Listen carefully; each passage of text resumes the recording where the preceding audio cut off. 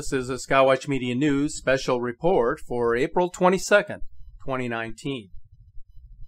Earlier this month, an international panel of experts gathered at the NOAA's annual Space Weather Workshop, and they made a startling forecast for the upcoming solar cycle. They predicted that the Earth would be heading into a long and deep solar minimum, a period of very low activity that would last for quite some time. If they are correct, then sunspot counts will continue to decline between the summer of 2019 and the fall of 2020, to be followed by a prolonged period of much colder temperatures across the globe. So far this year, our sun has been without sunspots nearly 60% of days a sign that solar minimum has arrived due to a decrease in magnetic waves.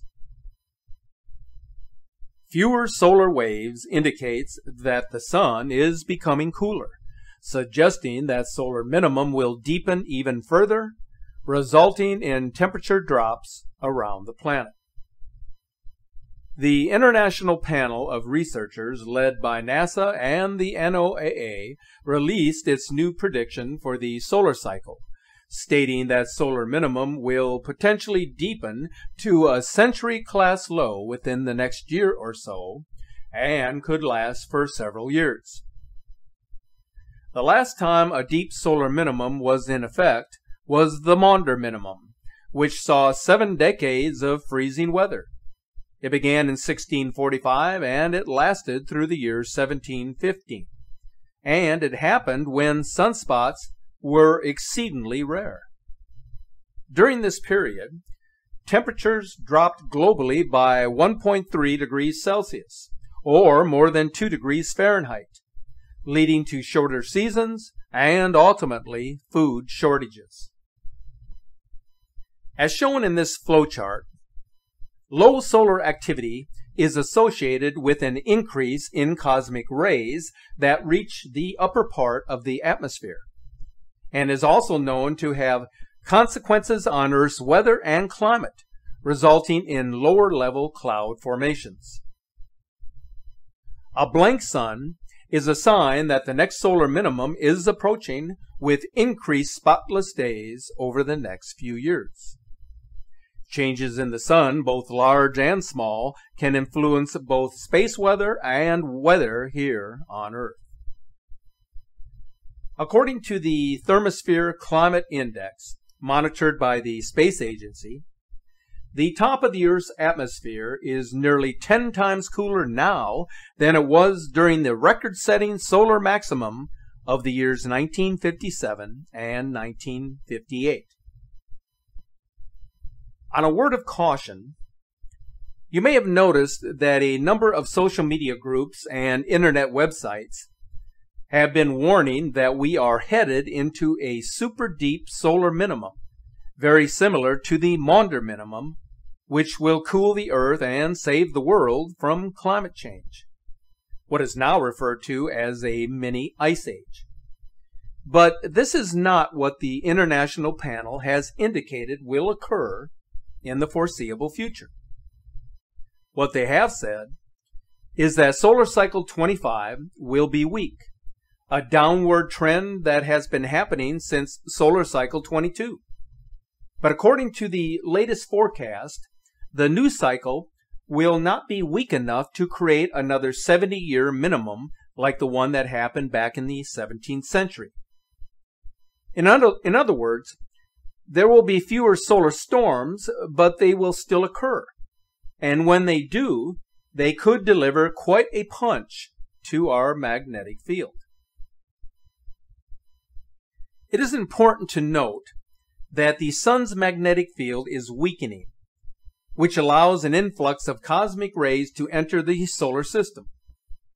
The energy particles from deep space can penetrate the Earth's atmosphere with consequential effects, including upper atmospheric electricity and higher doses of radiation. Furthermore, the sun dims, which causes the upper atmosphere to cool and contract, which then affects the operation of many satellites that orbit the Earth each day.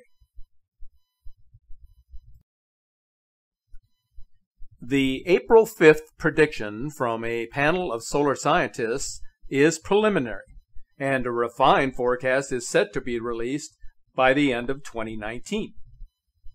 It looks like there are many more chapters in this story, so stay tuned. If you're an avid skywatcher, as many people have been throughout the centuries, there will be moments of astonishment when an object or a manifestation suddenly appears or takes form in the sky. There are also sun worshippers who profess to be eyewitnesses to erratic changes with the sun, changes that the whole world will see. With the advent of a cell phone technology, there has been many published images and videos of meteors and all forms of celestial or extraterrestrial appearances, apocalyptic cloud formations, even manifestations of religious significance in the heavens as well as upon the earth. But how do we know what's real or believable? Has anything actually changed? Just recently, a skywatcher from Casper, Wyoming, while in the process of capturing images of cloud formations, claims to have seen the planet Nibiru appearing well above the horizon on a clear and sunny day. The observer indicated that the blue planet-like object was not a lens anomaly. He claims it was real. Take a look. This is what was captured right here and also in these close-up images. The eyewitness says he took a second photo of the blue orb after it had disappeared behind the clouds. What is intriguing about the second image is that it does appear to be visible behind the clouds. An almost perfect circle looks to be visible in the exact spot where the planet-like object was located just prior to the clouds obstructing the view.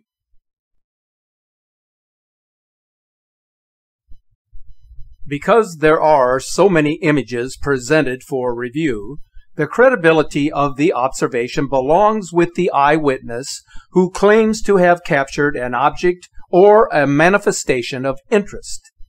It's then left for us to determine if there is any validity to the published report. It is you who must determine the merits of the presentation. On April 13th, residents of Denver, Colorado caught this image of a large black smoke ring above the city, floating idly by while continuously changing its shape. Baffled eyewitnesses quickly took to social media to describe the mysterious cloud-like phenomenon.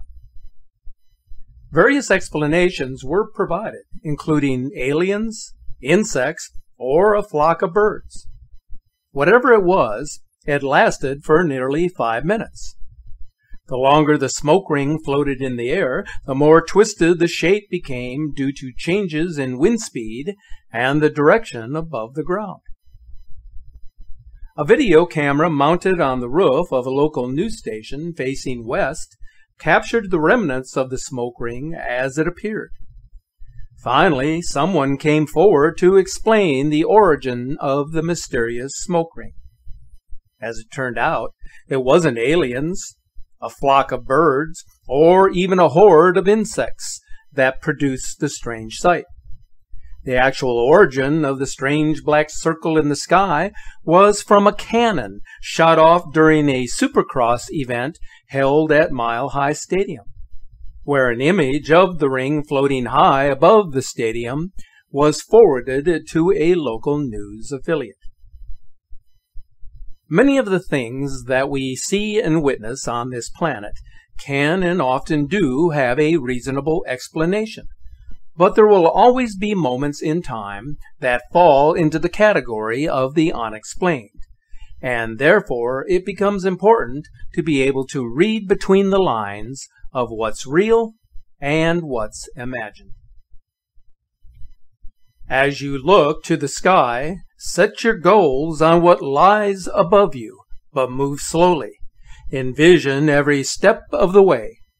It is every small step that will make your journey complete. Thanks for watching.